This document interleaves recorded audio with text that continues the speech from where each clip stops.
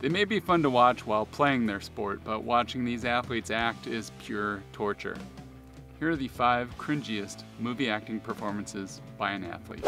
Coming in at number five, Ray Allen for his performance in He Got Game.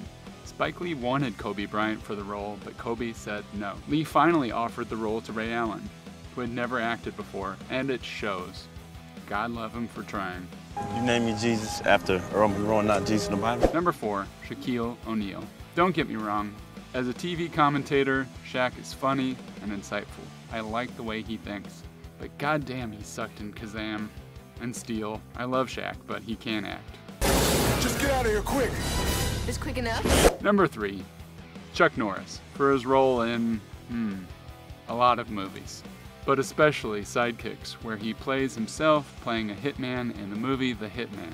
Tied for the worst role in Norris's career was campaigning for Mike Huckabee. That was stupid.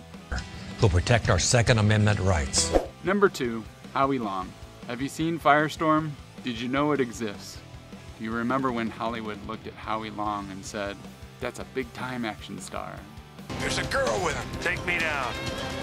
And the number one cringiest acting performance in a movie by an athlete is a tie between LeBron James and Michael Jordan for both of their performances in both Space Jam movies.